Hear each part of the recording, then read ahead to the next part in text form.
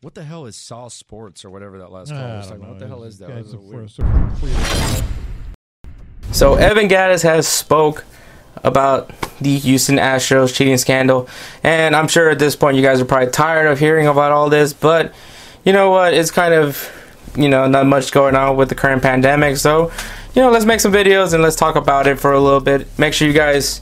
After you guys hear out what Evan Gattis said and how you guys feel about what I said, make sure you guys drop in the comment section. Tell me how you guys feel, as well. Drop a like and subscribe to Sauce Sports TV so you guys get that extra content on the other teams here in H Town, whether it be the Astros, the Dynamo, or the Rockets. Obviously, there's two channels. There's Sauce Sports that covers the Texans and the Roughnecks if there was a season still currently going on, and then you have Sauce Sports TV that covers the rest if the rest was still going on. But, you know, at the meantime, we're going to try and make some videos, give you guys something so you guys have during these times. And, um, yeah, let's get going with this video.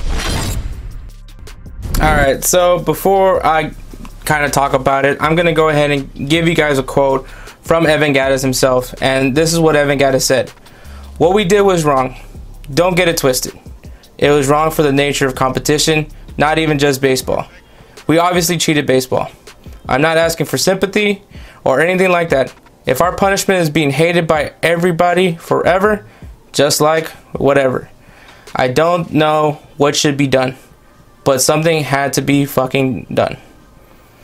I do agree with that big time. I do think it's good for baseball that we're cleaning it up. I still, to this day, I've thought about it a fucking shit ton. And I still don't know how to feel. I know I'll get ripped by somebody like, that's not an apology. And if I did apologize, it wouldn't be good enough. Yeah, no shit. It's not gonna be good enough. I understand that. It's not fucking good enough to say sorry. I get it. So, uh, basically, from what I got was it, you know, it happened. That's pretty much what he's saying. It's kind of saying something that I've been saying this whole time. It's happened. There's nothing really they could do to make things any better. The punishment was given to them. Whether you guys like it or not, they've been punished. Whether they apologize or not, you're still going to give them crap because if they don't apologize, you're going to be demanding an apology. And when they do apologize, it's never going to be good enough for the for the baseball fans. And Astros fans, you know, people are getting mad about us defending the Astros because we're we're terrible fan base. But you know, mind you, we also saw what the Yankees fans did by chucking beer cans at a person in the bathroom. So I don't necessarily want to judge fan bases, but the Astros fan base, they're just supporting their team, dealing with this tough situation that they're in. And in the end of it all, man, everyone's just never going to be satisfied with it. And uh, something that I always firmly believe in, man, uh, when you're trying to get redemption, the only thing that really matters is to the people that matter to you that redeem you. So if the pe- people that you really don't care about, if they don't if they don't redeem you, then who cares? All that matters is the people that you really care about. But yeah, so Evan guys, I'm thinking he just hit it hit it right on the nail. Um, some people were being mad at Altuve and Bregman for having these half-ass apologies. Yeah, I feel you on that one. And then they were mad when Correa decided to defend Altuve. I loved it, but you know, it, it regardless of what the Astros do, they're damned if they do, they're damned if they don't. So at this point, it's just whatever it can be. Just all you can do is just move forward from it. And I think that kind of part of why he went ahead and did this interview and speak on this is of a tweet.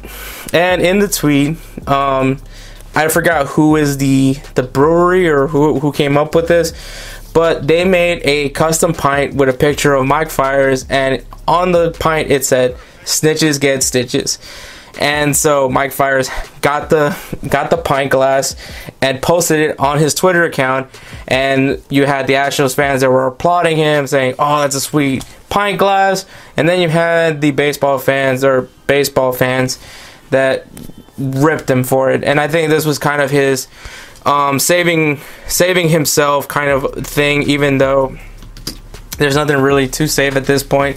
What's done is done, but it's great that we get to hear more players speak on it now.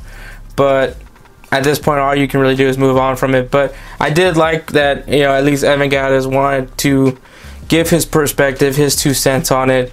He went a little bit more in depth in it, but I just wanted to read that quote because I think that one just hits the nail on the coffin on truly how everybody feels about this whole matter.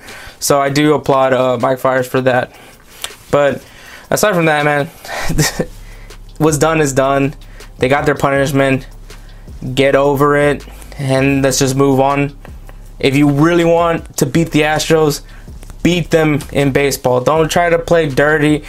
If you want to throw pitches at them, do it for like initially, but you realize you put a runner in scoring position just automatically. You already put a runner on base automatically just for hitting them. If you want to beat them, beat them in the game, beat them in the scoreboard. Because honestly, man, this is still a solid Astros team. We're going to see what the real Astros look like now that there's going to be, I guess, more uh, eyes on the Astros if they're going to cheat or not. So this is where you're going to really see the real Astros team. Are they a well-disciplined hitting team? Are they a good team to begin with? Can they play well without doing it? And I know in 2019 uh, they said that they didn't cheat, said so in the report. People don't believe them. But let's let's see what happens now when all eyes are on the Astros to see if they really are a legitimate team in the MLB. And I think, to be honest, man, for the the fans that hate the Astros so much, you can do as much as you want. You can cry, you can scream, and all that. You can do all that stuff. But it doesn't change the fact that the Astros received their punishment and they're still the 2017 World Series champions. Regardless, if you don't feel that it's worth any value or not, it still it belongs to the Houston Astros. Like I said, that's your opinion, and that's and whatever. This is my opinion, and it's whatever. We're just human beings.